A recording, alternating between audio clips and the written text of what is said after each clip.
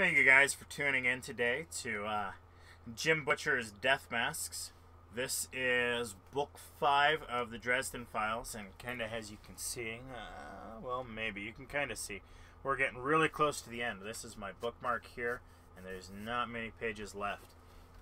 But today, what we are on is we are on chapter 30. And as you guys just heard a little bit ago, they are on a in a uh, duel right now, and Ortega is cheating. He uh, pulled a gun using his, um, I guess, human facade or whatever to be able to point the gun out directly between his uh, shirt to be able to point it at Dresden. So let's go ahead and jump in here to chapter 30. And if you've missed that fight, or if you've missed any of the other previous chapters or books, do take a look down in the playlists below. So, here's 30. You can't, I said. I shot a glance toward home plate, but the archive apparently hadn't noticed anything amiss. My will wavered, and the Mordite sphere bobbed back and forth. They'll hear the shot. They'll kill you. Quite possibly, he agreed. As I said, I am prepared to accept that. His words chilled me, and the Mordite sphere start, darted at my head. I caught, a, I caught it a couple of feet from me and held it, but just barely. I told you, Dresden, there's only one way this can end. I would have preferred an honorable demise for you, but any death will do. I stared at the hidden gun. A dot of bright scarlet light appeared on Ortega's chest and tracked slowly up. My expression must have changed, because Ortega glanced down too. The bright pinpoint of the laser sight settled over his heart and became still. Ortega's eyes widened, and his expression twisted into fury. A lot of things happened at once. There was a hissing sound, a thump, and a big section of Ortega's chest dented in. The scarlet sprayed out behind him. An instant later, a booming sound much deeper than the crack of a rifle echoed around the stadium.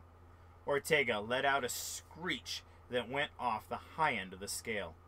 Fire erupted from behind the gun, burning through Ortega's flesh mask and shirt to reveal the muzzle of a small caliber revolver clenched in an inhuman black hand. The bullet Ortega had taken had half twisted him, and he missed. I thought hanging around to let him try again was a bad idea, so I threw myself to one side and gave the Mordite sphere another shove. Ortega dodged the Mordite, and even wounded, he was fast. A bright red dot appeared on his thigh for half a second, and with another hiss, thump, boom, the unseen gunman hit him again. I heard the bones of Ortega's leg break. Susan threw my staff and rod to me and leapt for Ortega, grabbing his free arm and twisting as if to throw him. Instead, the vampire writhed weirdly, and she wound up tearing the flesh mask from him, peeling it away like a banana skin to reveal the slime, slick, flabby bodied creature beneath it. The true Ortega. He still held the gun, though, and he turned to shoot at me again. I screamed, Ventas Servitas! At the top of my lungs, throwing my will at the dirt of the pitcher's mound. It whirled up into a miniature cyclone of fine brown soil, forcing the vampire to turn his head and shield its eyes. The second shot went wild as well, and I scrambled to get my blasting rod. The flying dirt slowed her down, but Susan still went for Ortega's gun hand. It was a mistake. Even with only one leg to support him, Ortega screeched again, twisted, and flung Susan from the pitcher's mound into the third row of seats behind first base. She hit with bone breaking force and dropped out of sight. Sudden screeches filled the air, and I looked up to see as many as a dozen of the Red Court, revealed in their true forms, coming into the stadium. Some climbed over the walls, some jumped in from the upper levels, and some came bursting out of private boxes in showers of exploding glass. I spun toward Ortega, lifting my blasting rod, rammed my will through it, and shouted, Fuego! A jet of flame as thick as my arm roared at him, but one of the incoming vampires hit him at the shoulder, dragging him out of the line of fire. The newcomer was set alight, though, greasy skin going up like a bonfire, and it screamed hideously as it burned. I sensed movement behind me and turned to find Kincaid dashing across the ground. He scooped up the archive and raced for one of the dugouts. One of the red court vampires got in his way. Kincaid's arm blurred a semi automatic appearing in it, and without missing a step, he too put two shots neatly between the vampire's eyes. The vampire started to fall, and as it went by, Kincaid pumped another half dozen shots into its belly, which erupted in a messy shower of scarlet and left the vampire screaming and thrashing weakly on the ground. Harry, look out! Thomas screamed. I didn't look out. I figured on the worst and leapt forward. I heard a vampire hiss as it missed me, and it came rushing up behind me. I turned and unleashed another gout of fire from my blasting rod, but missed. The vampire closed on me, spraying venomous saliva into my face. I'd been hit with vampire venom before, and the stuff worked fast, particularly in large amounts. But I'd taken the potion to block it, and all this did was make me itch. I used the time while the vampire sprayed me to prepare another blast, and unleashed the strike with a rod pressed against the vampire's flabby body. It scorched a wound in the vampire's belly the size of my fist and blew a two foot hole in the creature's back. The vampire went into weak spasms, and I kicked it off of me, rising. Seven or eight vampires were within fifty feet of me and coming fast. Thomas sprinted toward me, a knife gleaming in his hand, and hit one of the vamps from behind. He cut open the vampire's belly with a single slice, and the creature collapsed to the ground. Harry, get out! No, I shouted. Get Susan out of here. Thomas gritted his teeth, but changed course. He leapt up onto the first base dugout and hopped neatly over the rail into the stands. No help there. There wasn't time to look for options. I crouched and concentrated, chanting, Defendere, Defendere, in a steady litany. It was difficult to do without my shield bracelet to focus it, but I brought up all the defensive energy I could manage into a dome around me. The vampires hit it, slamming against it in a mindless, shrieking rage. Any one of them could have flipped my car over lengthwise with only a little effort. Their blows against the shield could have crushed concrete within seconds, and I knew I wasn't going to be able to hold the defense in place for long. Once it went down, they were going to literally tear me limb from limb. I gave the shield my all, and felt them slowly breaking it down. Then there was a roar and a flash of brilliant light. A jet of fire streaked over me and took one of the vampires full in the head. It burst into flame, screaming and waving its two thin arms, and went down onto the shield, thrashing like a half crushed bug. My shield collapsed, overload, and the bracelet began burning my wrist. I crouched lower. Another jet of fire went by, incinerating the head of another vampire. All of them stopped, crouching, shrieking in confusion.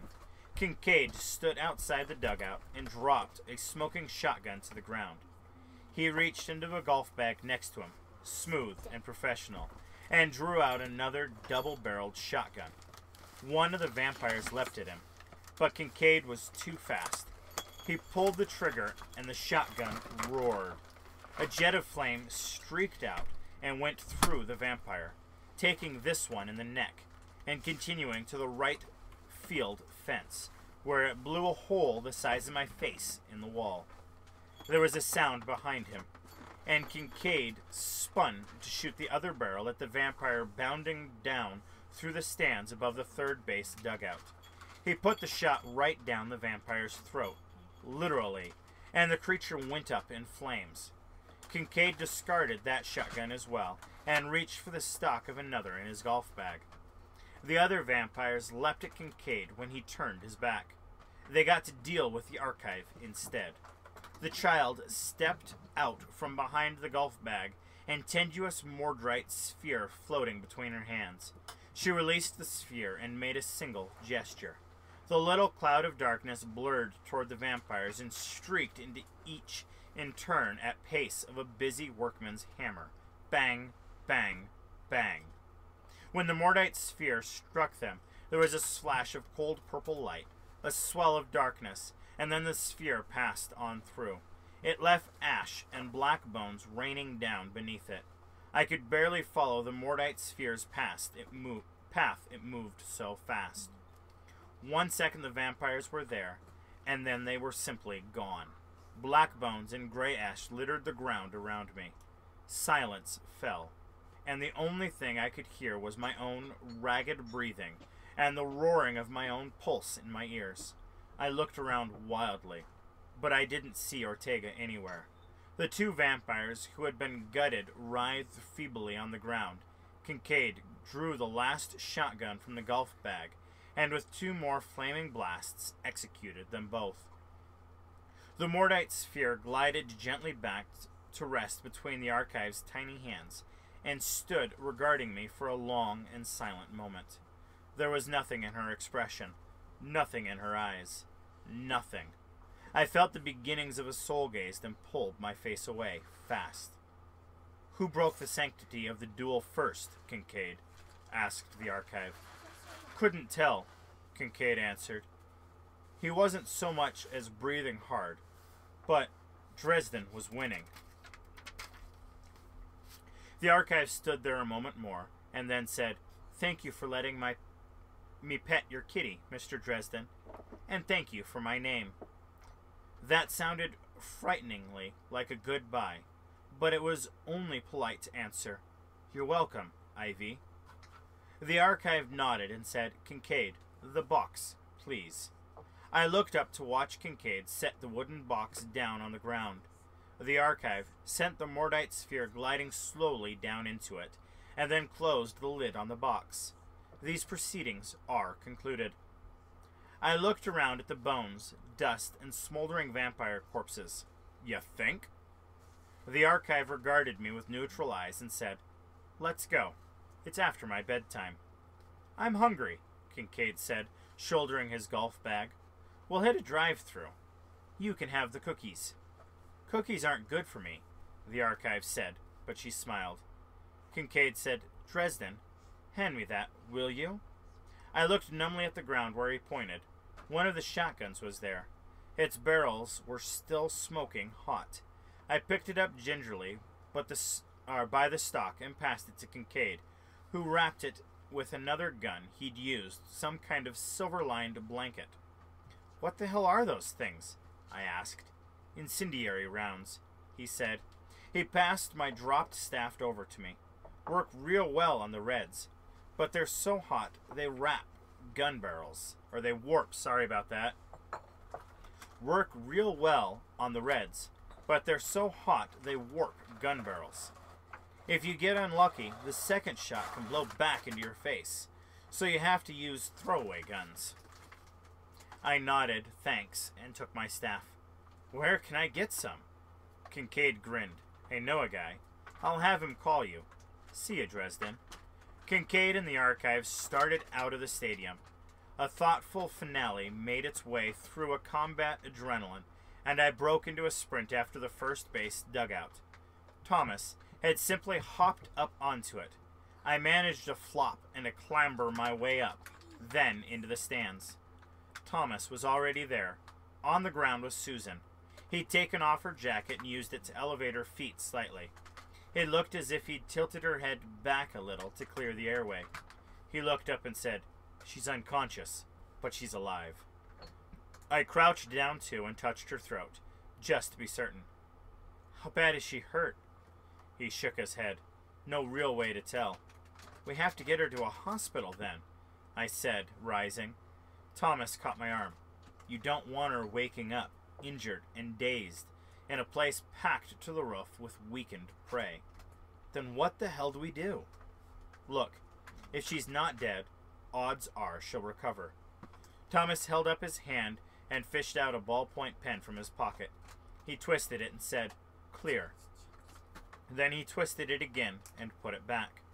A moment later, Martin came rapidly down the aisle, and some he somehow made even that look boring, as if he were simply a man wanting to take his seat again before the opening pitch. It was especially impressive since he carried a huge rifle, a military sniper weapon with a telescopic sight and a laser attachment. He set the rifle aside and went over to Susan for a moment, feeling here and there before he said, She'll be sore. You? I asked. You were the gunman? Obviously, Martin said. Why do you think we were in Chicago to begin with? Susan said she was getting her things. He looked up at me skeptically. You believed that? I would have thought you knew Susan well enough to know that mater- material things don't hold a lot of interest to her. I knew that. I said, but she said. I trailed off and shook my head. Martin looked up and said, We knew Ortega was coming to kill you. We knew that if he succeeded, he might be able to bring the war to a peaceful conclusion, only to begin it again 20 years from now, from a much stronger position. I was sent to make sure Ortega did not kill you, and to eliminate him if I could. Did you? Martin, sh- Martin shook his head. He had planned for the contingency. Two of his vessels got to him during the fight. They pulled him out. I don't know how badly he was hurt, but it's likely he'll make it back to Castle Verde. You want the war to keep going? You're hoping the White Council will destroy the Red Court for you? Martin nodded. How did you find out about this duel? Martin didn't answer. I narrowed my eyes and looked at Thomas. Thomas put on an innocent expression. Don't look at me. I'm a drunken, chemically besoided playboy who does nothing but cavort, sleep, and feed. And even if I had the mind to take a bit of vengeance on the Red Court, I wouldn't have the backbone to actually stand up to anyone. He flashed me a radiant smile. I'm totally harmless. I see, I said. I took a deep breath and regarded Susan's face quietly for a moment. Then I bent down, got into her pockets, and got the keys to the rental car. Are you leaving now, Martin? Yes. I don't think our presence will be noticed here, but there's no sense in taking chances. Take care of her for me, I said. Martin looked up at me for a second and then said in a quiet voice, Everything in my power. You have my word. I nodded. Thank you. I stood up and started for the exits, drawing the coat to cover my gun. Where are you going? Thomas called. The airport, I answered. I've got to meet some people about an old man and an old bed sheet. Thank you for listening to chapter 30 with me. I want to thank you very much, like I said, for taking your time out and listening to this with me. Um, let's go ahead and we're going to find out here pretty quickly what's going to happen at the airport, what's going to happen with the Denarians and Dresden. Um, I do want you to go ahead, please give a thumbs up to this, like this. Um, if you don't like it, go ahead and give it a thumbs down, but please do let me know why. Um, again, I want to thank you guys very much for all that you do, and you guys have a wonderful and blessed day.